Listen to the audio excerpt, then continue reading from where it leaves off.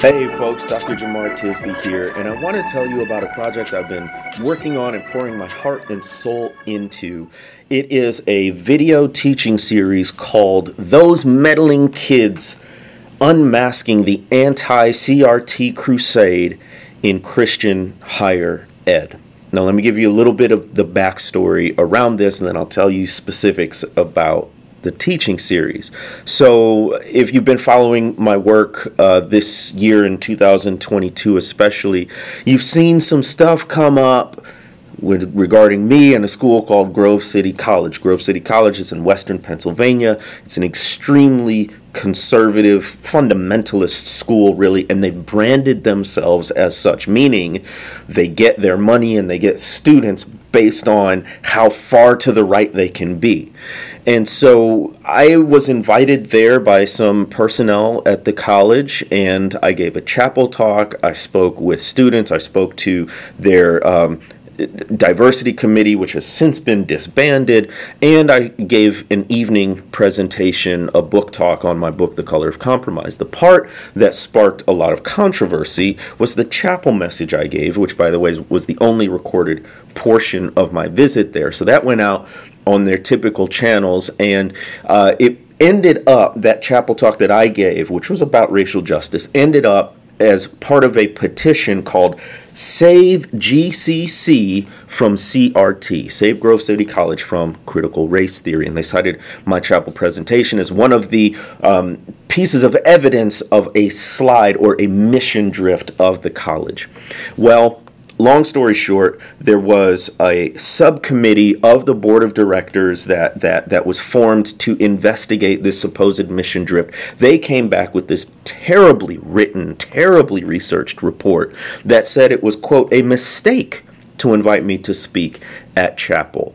And I held out some hope that the board as a whole might either reject the report or at least say, oh, we got to tighten this up. No, None of that happened. They voted and they accepted and adopted that report in full that said it was a mistake to invite me to chapel, and more importantly, threw some of their very own professors under the bus and clamped down in terms of oversight and regulation of anything that might speak to issues of racial justice to the point of it really being prohibitive and, and really instilling a sense of fear in uh, professors and students who, who want to learn more about racial justice. And here's the thing it's not happening just at one college or university. This is widespread, particularly across Christian colleges and universities. As a result of all this stuff going on at Grove City College, I spoke to some students at the school who really actually want racial justice, want to see racial progress. And we were talking about ideas about, about what could we do, how could we collaborate, what could they do. One of the things that they were really excited about was this idea of a teaching series where we actually gave accurate information about critical race theory instead of this propaganda about it designed to instill fear. And so that's where this series, Those Meddling Kids, came from. And why those meddling kids? Because these are college students at Christian schools who have the audacity, the unmitigated gall to think that their schools, especially being faith based, might help promote racial justice, might help move toward racial progress. And so they're asking questions, they're holding events, they're inviting speakers, and it's because they're meddling with a racist status quo that uh, some of these administrators, trustees, alumni have reacted so strongly and negatively to those efforts at racial justice. So, one of the best ways to push back against what I call this anti CRT crusade, to push back against the misinformation and the false information, is to provide accurate information. So, what is this teaching series? It's a multi part series that addresses critical race theory with accurate information and equips people particularly students at Christian colleges and universities, to be more racially aware and to work toward racial justice on their campuses and in their communities. So, uh, to give you an overview of what's actually in this series, here are some of the topics. Uh, we have What is critical race theory? Where I talk to uh, Professor Robert Chao Romero at UCLA, who's a historian. He's got his PhD in history, but he's also a, a, lawyer. He he went to law school, and so he was actually trained in law school in critical race theory. So uh, a wonderful resource uh, in terms of knowledge and information about what critical race theory actually is. So we, we, we, we kick off the series simply defining what it is and also what it isn't. We're going to talk to um, Dr. Otis Pickett, who's the university historian at Clemson University, about a history of racism at Christian colleges and universities. Other topics, white Christian nationalism in Christian higher ed. We're going to talk about keeping our eye on the ball. CRT is uh, the anti CRT crusade is really a distraction, and the real threat and the real danger is from Christian nationalism.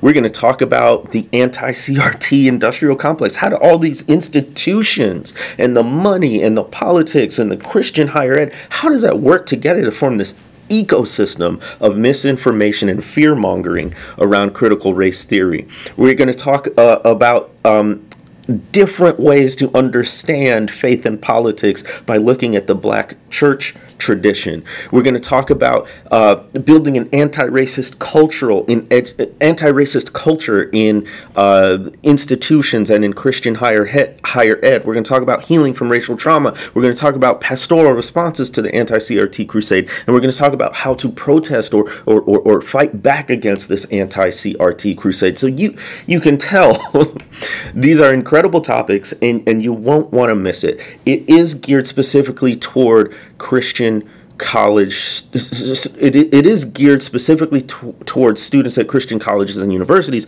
but this information is going to be universally applicable y'all. So no matter where you are in life what stage what age um, you're going to want to tune into this. It's going to be available in video format on my youtube channel. I'll post a link in this post. Uh, we're going to hopefully be releasing it starting the week of august 8th august 9th um, and, and we'll be, be releasing a couple of episodes each day. So you're going to want to follow along each day until all the episodes are released. This video is just an introduction, just to say coming soon, just to give you a heads up. I would love for you to spread the word. So share this video with people, especially the young people in your life who, who might be college age. They don't even necessarily need to be enrolled in an institution, but uh, uh, it's critical that younger people know about what this is and how it's going. My hope is that this gets used in like a small group setting.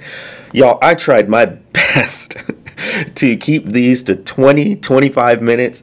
I failed in almost every case because the information is so good, so rich, so valuable, so important. We just had to keep the conversation going. So they're all around 30 to 35 minutes, but hopefully you can um, watch it either before or during your meeting and then have a discussion afterwards about this this critical issue of the anti-CRT crusade not only in Christian higher ed but but really across US society. So the hope is that you would use it in community in groups. You can use this at church uh, if you're a, a, professor or a teacher, you can use this in your classes. Um, if you're a student or a young person, you can use this on your own independently, or better yet, with a small group of friends. Um, and, and, and just, just have at it. Use this material as a conversation starter and hopefully as something that can help you mo- help motivate you toward informed action. So, we're not done yet as I record this. We are still completing interviews. We've got some editing to do, um, but hopefully it will be ready very soon. And I'm doing it for you. This is all out of pocket. This is not sponsored by anyone or anything. It's just because there is a need there. But if you do want to support, the best way is to become a paid subscriber to my newsletter. You can go to jemartisby.substack.com and you can subscribe uh, and become a paid subscriber to help support more of this work. Also, if you are in Christian higher ed or just working at a college or university or another institution, and you want to hear more about Christian nationalism, a history of racism in Christianity, how to fight racism, which is the topic of my second book, um, all of it can be tailored toward faith based or secular audiences. You can also book me to speak at your event, and I'll post a link to um, my, my speaking agency as well. So there are ways that you can support, but all of this is provided for free just because it's so important, just because the issue is so urgent, would love for you to spread the word to the young people in your life, to young people around college age, so that they can be equipped to to be armed against this battle uh, against critical race theory, and to to keep an eye out for what a healthy faith looks like and how we might together move closer toward a racially just and equitable future. Thanks so much.